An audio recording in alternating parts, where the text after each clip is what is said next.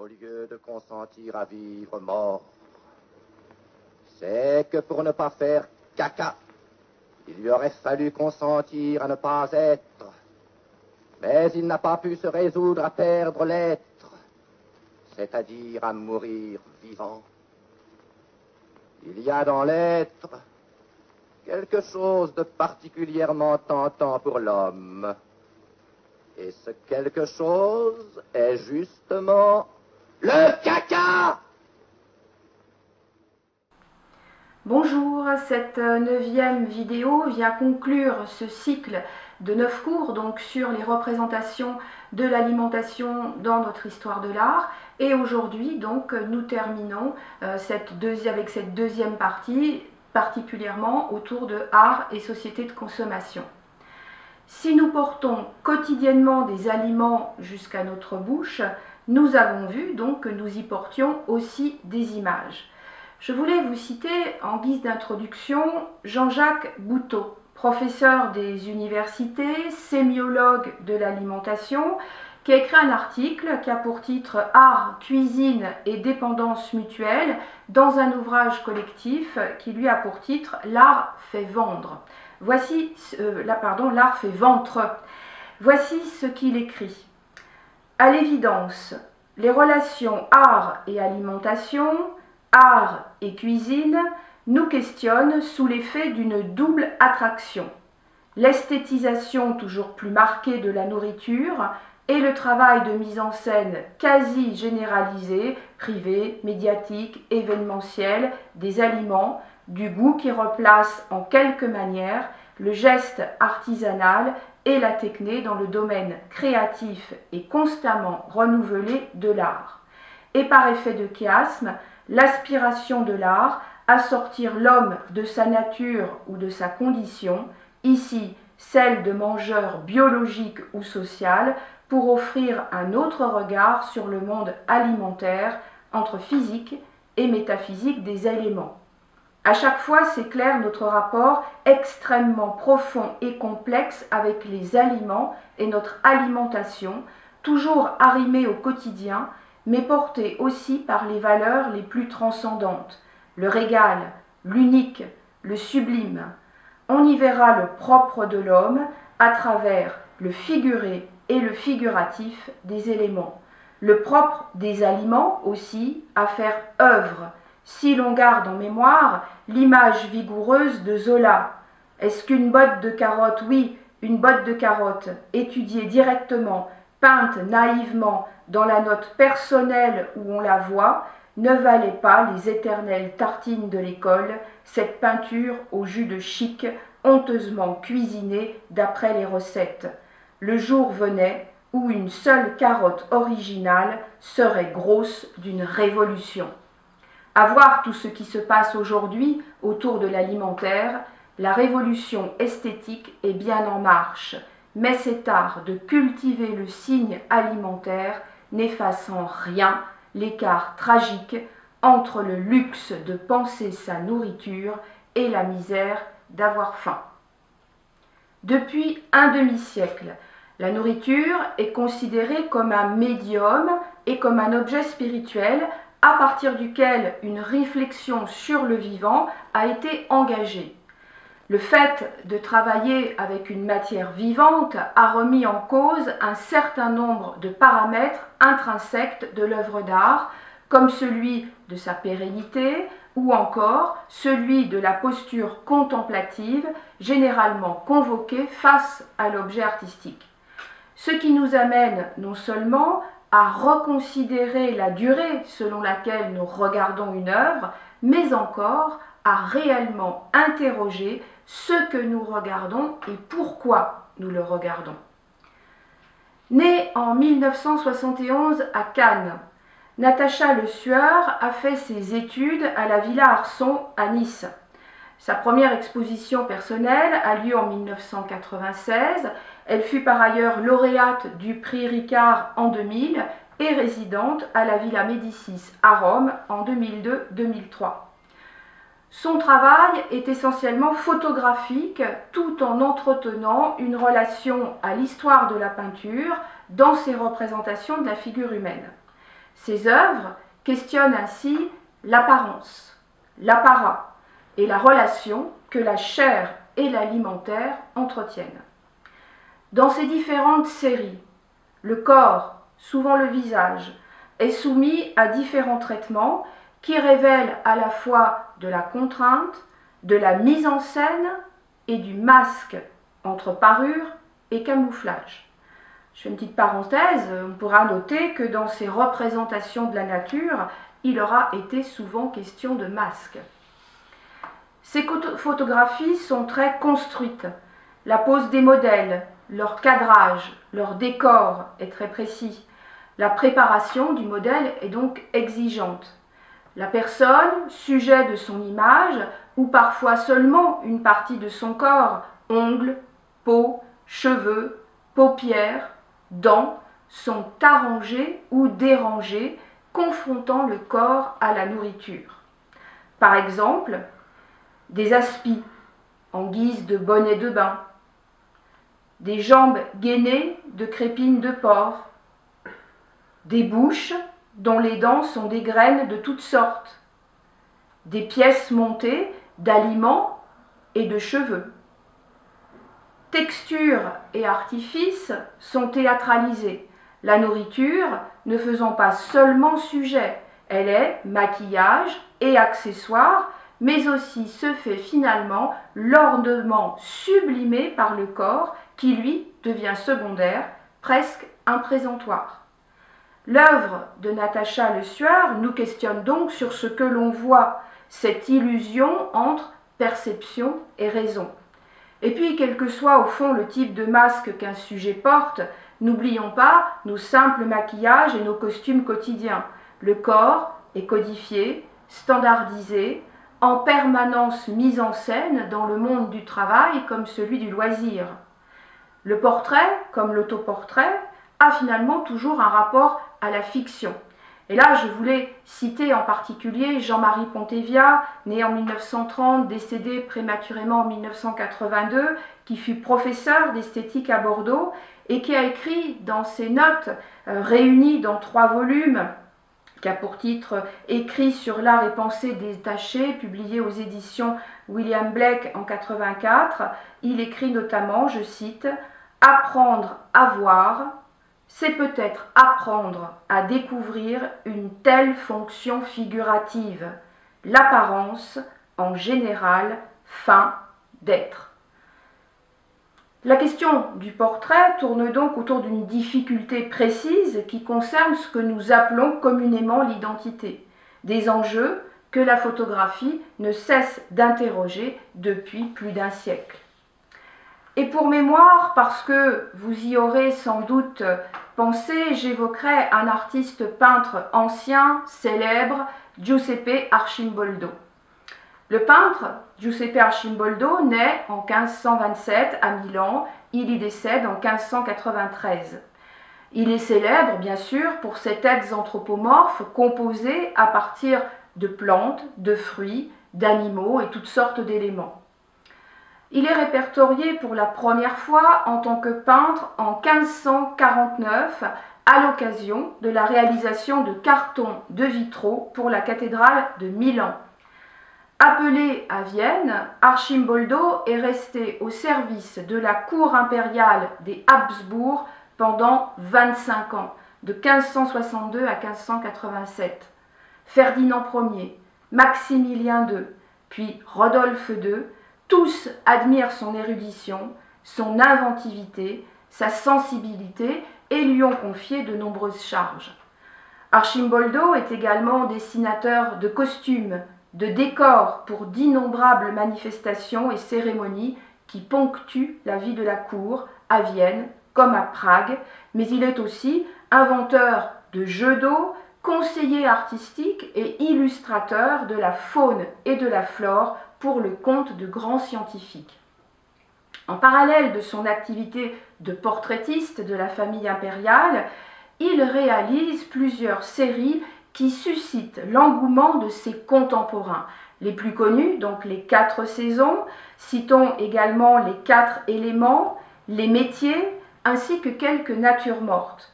Le nom d'Archimboldo reste à ce jour intimement associé à ses œuvres présentant des têtes anthropomorphes composées à partir de plantes, de fruits, d'animaux et donc toutes sortes d'éléments. De prime abord, simple représentation des saisons et des éléments, elles incarnaient également des personnalités telles que l'empereur Rodolphe par exemple.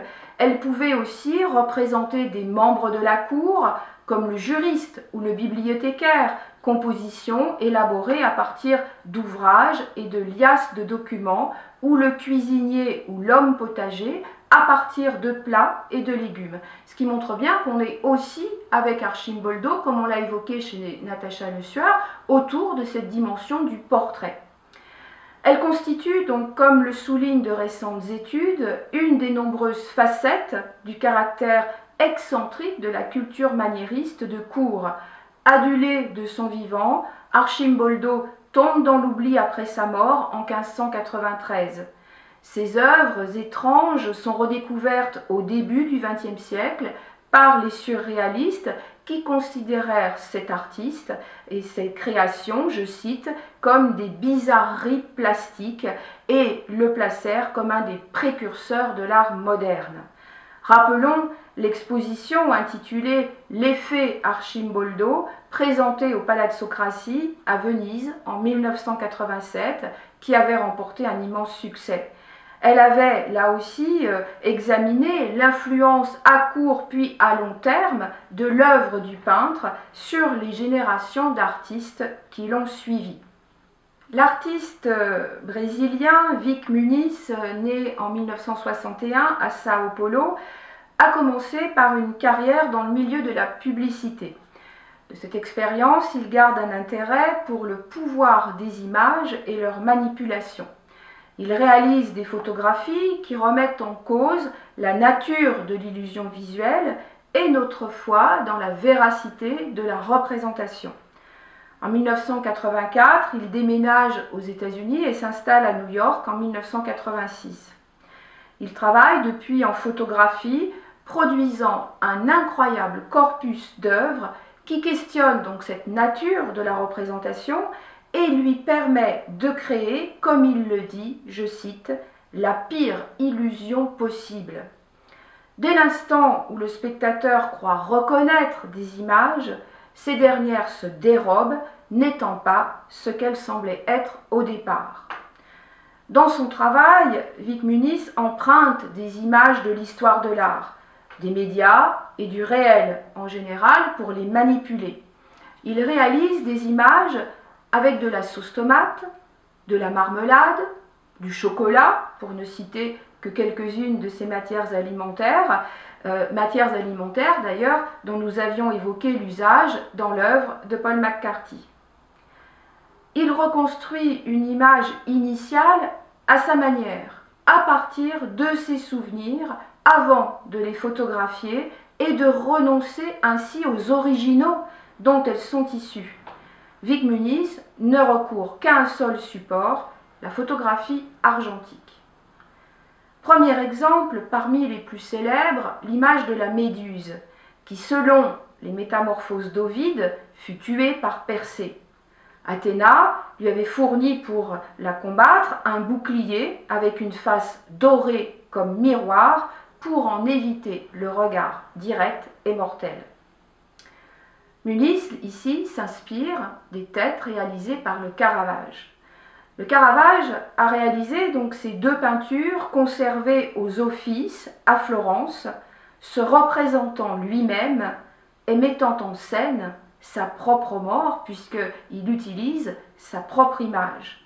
Il est donc à la fois Persée et Méduse. Celle de Vic Muniz est faite de spaghetti et sauce marinara. Bien sûr, quand on la voit, on pense immédiatement à l'œuvre du Caravage. Au-delà de l'humour, et comme chez le grand maître du XVIIe siècle, il nous confronte à notre propre mort à plusieurs niveaux.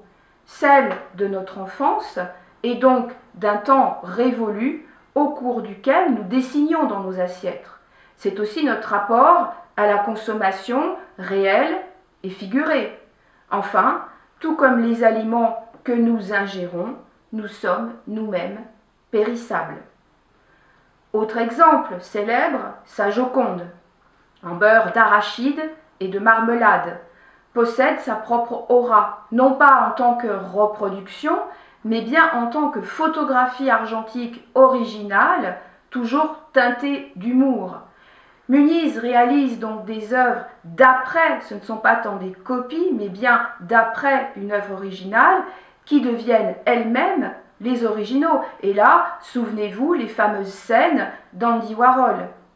Muniz avait remarqué à quel point les touristes qui vont au Louvre afin d'y admirer la Joconde ne la voient finalement souvent pas à l'œil nu, mais à travers, je cite, la caméra collée à leur visage. C'est cette situation où le monde est toujours vu à travers des filtres à laquelle nous expose Vic Muniz. En même temps que ces photographies renvoient à un patrimoine culturel collectif, elles interpellent le spectateur en jouant donc sur sa perception.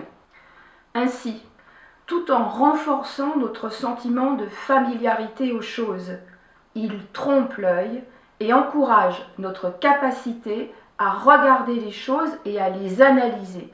Il dit à ce propos, je le cite, La vision est avant tout une forme d'intelligence et la reconnaissance ou l'identification une sorte de confort.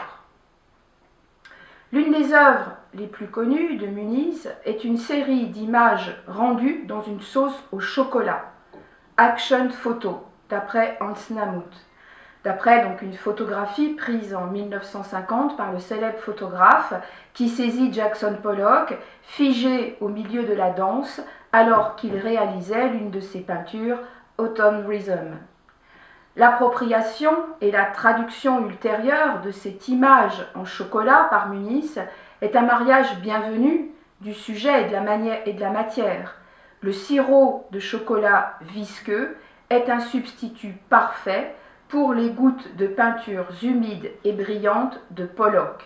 Le procédé photographique reproduit peut-être moins la photographie documentant Pollock en train de peindre que l'idée même de sa peinture, sa matière, sa liquidité. Autre manière plus minimale de travailler ce rapport à l'aliment, celle de Wolfgang Leib, né en 1950 en Allemagne et en particulier avec ses pierres de lait réalisées en 1977 que nous évoquerons dans un instant. Wolfgang Leib commence en 1968 des études de médecine qu'il mène à terme. Puis il voyage en Inde et entreprend la lecture des écrits bouddhiques. En 1975, il abandonne la médecine et réalise sa première pierre de lait dont nous allons parler. À partir de 1977, il récolte du pollen dans la campagne qui entoure son atelier situé dans un petit village du sud de l'Allemagne. Avec ce pollen, il dessine à même le sol ou sur une feuille de verre des surfaces rectangulaires ou carrées d'un jaune éclatant. Il a déclaré, je le cite, que le pollen est le début potentiel de la vie de la plante. C'est aussi simple, aussi beau et aussi complexe que cela. Et bien sûr, cela génère de nombreuses pensées. Je pense que chaque être vivant connaît l'importance du pollen. Depuis le milieu des années 1970, il réalise donc des sculptures et des installations marquées par une présence que l'on peut qualifier de réduite et qui amène une certaine sérénité. Ces œuvres sont donc réalisées à partir d'un ou d'une combinaison de deux matériaux accumulés à partir d'éléments naturels tels que le lait, le marbre, le pollen, le riz ou la cire d'abeille qui ont été sélectionnés pour leur pureté et leurs associations symboliques. Précisant son travail, il dit, je le cite, J'ai essayé de réaliser des choses très simples, très réelles aussi. Plus vous faites plus compliqué, plus vous vous éloignez. En éliminant, vous obtenez davantage. Dans son travail, le nombre limité d'éléments et la rigueur de ces installations amènent tout à chacun à être contemplatif et en tout cas à se concentrer sur ce qu'il voit. Les substances qu'il utilise ont toute une portée symbolique extrêmement forte entre raison et imagination. Ce sont des substances vivantes qui s'insèrent dans des processus de naissance, de mort et de régénération. En étant toutes d'origine naturelle, elles représentent tout un éventail de transformations naturelles qui vont du solide au liquide, du ferme au mou, du pérenne au périssable. Prenons donc cette œuvre Pierre de lait. Il n'y a pas de distinction entre couleur, forme et matière, ni de frontière entre une surface et l'autre. On retrouve cette notion d'illusion. Paradoxalement, l'élément qui semble plus fragile est celui qui est mis en valeur. C'est lui qui fait l'œuvre. Les pierres de lait sont des œuvres d'une grande sobriété, des sculptures sans socle, ou peut-être le rejoue-t-elle, présentées au sol. Ce sont des blocs de marbre rectangulaires qui ont été polis par l'artiste pour générer une légère concavité dans leur surface supérieure qui par la suite est comblée du lait quotidiennement. Le lait versé dans la surface de la pierre fait en quelque sorte fondre le minéral du marbre dans l'organique du lait. Le marbre est ainsi nourri par le lait qu'on lui verse quotidiennement afin de remplir l'espace en creux. Par ce geste, le volume de matière enlevé se reconstitue. Dès qu'il est versé, le lait entre dans un processus de décomposition. C'est la raison pour laquelle le, lait doit être remplacé chaque matin. Son cycle vital, qui dure à peine un jour, entre en total contraste entre la nature du marbre et donc celle du lait. Le calme apparent de l'œuvre n'est donc que pure illusion. La matière liquide manifeste son agitation intime dans cette lutte entre le minéral et l'organique. Il s'agit bien d'une synthèse où les deux matières se confondent, la pierre devient lait et le lait se minéralise. Avec des artistes comme Peter Fischli, né en 1952, et David Weiss, né en 1946 et décédé en 2012, on peut dire que l'aliment devient figure. Après des études d'art à Bologne pour le premier, à Zurich en sculpture pour le second, il décide à partir de 1979 d'élaborer une œuvre commune, une œuvre qui s'inspire de l'esthétique dite populaire, à travers laquelle il réinterprète le quotidien entre amusement et désabusement. L'œuvre de Fischli et Weiss est peuplée d'objets. Ceux-ci ne sont pas inanimés, au contraire. Ils ne se donnent finalement à voir qu'en certains mouvements, dans un jeu de rôle, souvent des plus drôles. Les objets, chez Fischli et Weiss, ont leur propre existence. Véritable anthologie du quotidien et du banal, cette œuvre se constitue autour d'un vaste vraiment répertoire d'objets hétéroclites comme des saucisses, des carottes, des bouteilles, des vieilles chaussures, des râpes à fromage par exemple. Depuis 1979, date de leur première collaboration. Les artistes suisses construisent une œuvre protéiforme, recourant aussi bien à la vidéo qu'à l'installation, à la photographie, au film, au dessin ou à la sculpture. Entre un certain humour et une certaine légèreté, on pourrait parler aussi d'une métaphysique de l'ironie. Le travail des deux artistes questionne avec distance le monde, s'interroge sur la difficulté à donner un sens à l'existence humaine. Premier exemple, extrait de la série des saucisses en 1979, une œuvre particulièrement emblématique de l'esprit qui régit les œuvres des deux Suisses. Il s'agit des premiers travaux que Fischli et Weiss ont réalisés au début de leur carrière en 1979. Une série donc de dix photographies qui représentent des scènes de vie communes dans la banlieue de Zurich, ville de résidence de ce duo.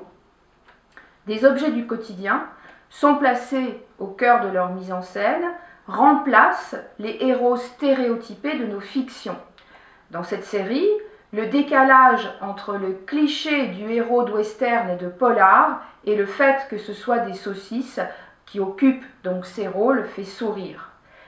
La tablette de salle de bain devient donc un petit podium éphémère et ce fashion show nous plonge dans l'univers impitoyable de la mode, réinterprété ici par cinq cervelas vêtus et coiffés de costumes plus comiques qu'avant-gardistes. Les modèles défilent les uns derrière les autres, laissant apparaître dans le miroir le reflet de leurs étonnants drapés. À noter, une fois encore, la pauvreté des moyens utilisés qui poursuit ce questionnement sur le statut de l'œuvre d'art dont nous avons à plusieurs reprises parlé. L'anodin et l'insignifiant nourrissent alors la création de fictions visuelles. Autre exemple avec ici cette série appelée Équilibre, la servante, qui traduit elle aussi l'ironie et le décalage en place dans le travail de Fischli et Weiss. En porte-à-faux, en mouvement de balancier, ou sur le point de s'effondrer. Râpes, bouteilles, brosses, carottes et rouleaux de scotch, tout droit sortis de leur placard, s'empilent et se maintiennent dans une stabilité précaire. La dimension traditionnelle de la sculpture est alors ébranlée par ces assemblages tenus en équilibre juste le temps d'un instant, c'est-à-dire celui de la prise de vue photographique. Toute l'œuvre de ces artistes est donc bien une recherche autour de l'objet ordinaire et de l'insignifiant, révélant des qualités esthétiques de ce qui en semble a priori dépourvu. En guise de conclusion, ayant commencé lors de la première vidéo, souvenez-vous, par les dentiers d'Armand, je terminerai par le reste, le déchet, avec Vindelvoie et son célèbre cloaca. Delvoye donc est né en 1965 en Belgique. Il raconte qu'à 8 ans, il rêvait d'être euh, Walt Disney, dont il partage les initiales et dont il reprend d'ailleurs la typographie pour sa propre signature. Et à 12 ans, il rêve d'être Rubens. Il s'inscrit à l'école des beaux-arts de Gand et il fait partie de ces artistes qui ont le désir d'investir la vie quotidienne et de s'y fondre. Depuis quelques années, il est devenu un réel entrepreneur. Il ne vend pas sa production personnelle, ses créations, mais la production de ses entreprises, en particulier les entreprises Cloaca et Art Farm par exemple. C'est en 2000 que Delvoye créa Cloaca, dont suivront neuf autres versions jusqu'en 2010. Ces machines complexes reproduisent dans des conditions de laboratoire la digestion humaine au moyen d'enzymes et autres substances. L'être humain, ou précisément son organe le plus important, le tube digestif de la bouche jusqu'à l'anus, est reconstitué à part entière et rendu ainsi visible. Ce n'est pas la forme des organes qui compte ici, mais uniquement leur fonction. Les premières cloacas, comme la deuxième cloaca New and Improved, réalisée en 2001, sont encore conçues comme des machines de laboratoire strictement scientifiques. Avec Cloaca Quattro, réalisé entre 2004 et 2005, il renonce un petit peu à la froideur du look de laboratoire avec ses machines à laver et ses moteurs ouverts, elle est plus un assemblage de machines. Il a réalisé également un Cloaca Travel Kit entre 2009 et 2010, qui rompt quant à elle avec le sérieux de l'affaire. Montée dans une valise, elle est utilisable à tout moment, partout dans le monde. C'est bien sûr un clin d'œil non seulement à Duchamp, mais à certains artistes Fluxus comme Massiunas. Pour mémoire, je montre donc euh, la fameuse boîte en valise de Marcel Duchamp. Grâce à la richesse des objets qu'elle contient, cette édition devenait une œuvre à part entière. Une œuvre donc achevée en 1941 dont la particularité consiste à réunir une multiplicité de pièces qui sont en même temps des reproductions et des originaux. Duchamp proposait en somme un petit musée portatif qui rappelle la circularité de l'une des définitions données par lui à l'art. C'est le musée qui fait l'art, mais l'art qui fait le musée. Également Georges Massiunas avec Excreta Fluxorum, qui est l'un des multiples les plus célèbres de cet artiste, produit en deux versions à partir de 1972 et jusque la mort de l'artiste en 1978.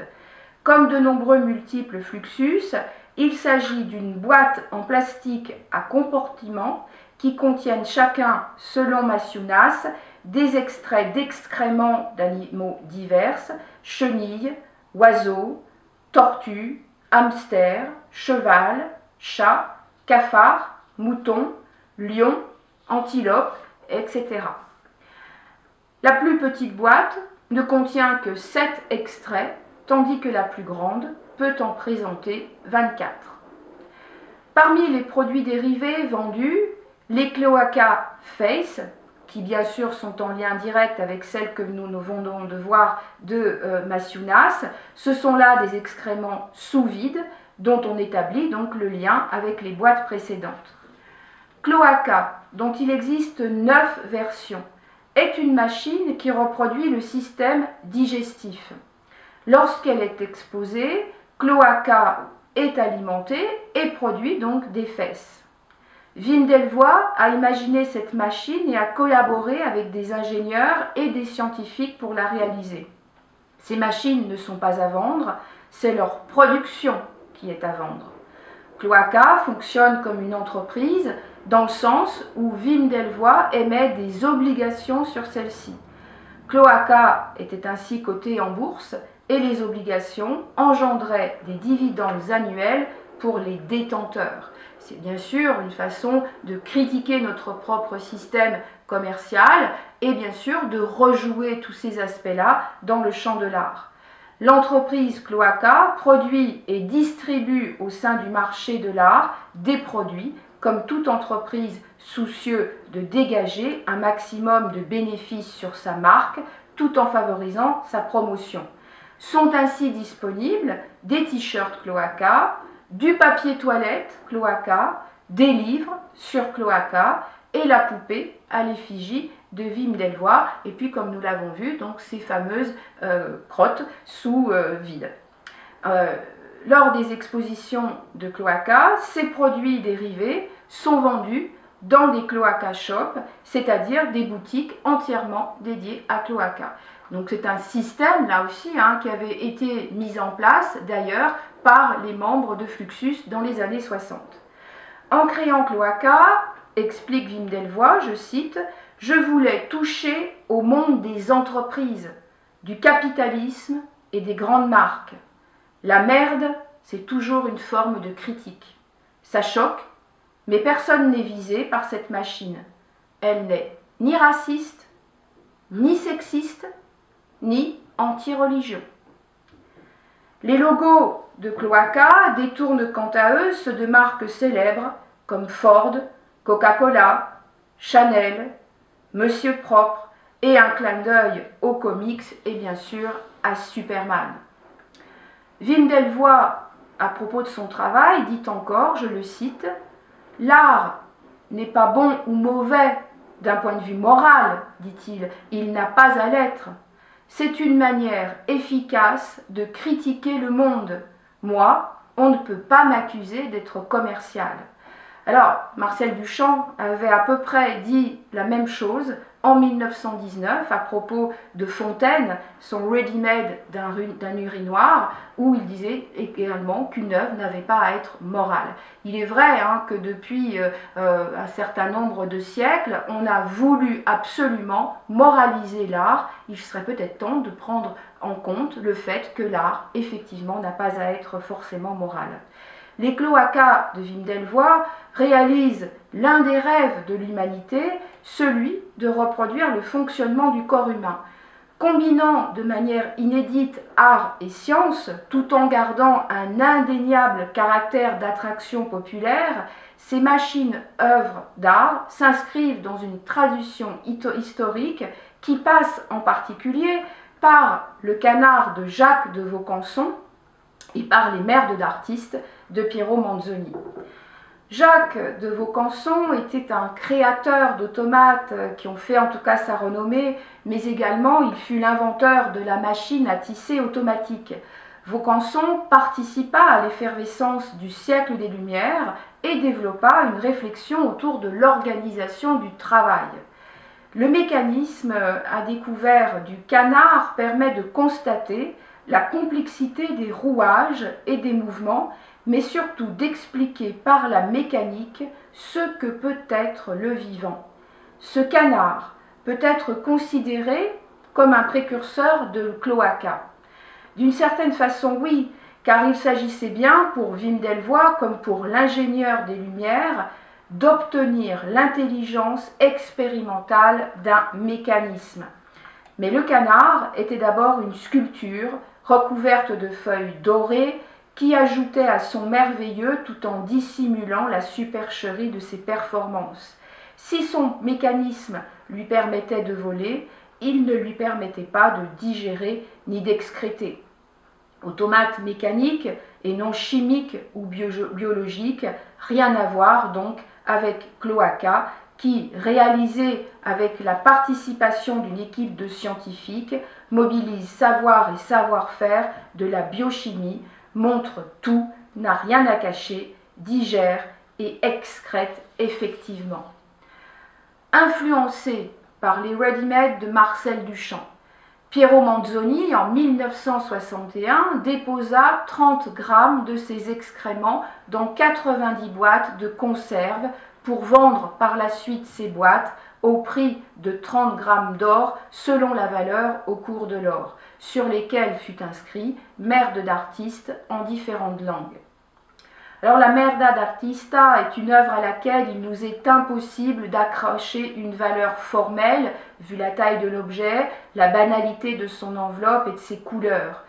Se supposer n'importe quoi n'est pas du n'importe quoi, n'est pas produit par n'importe qui, et n'est pas fait pour être vu n'importe où.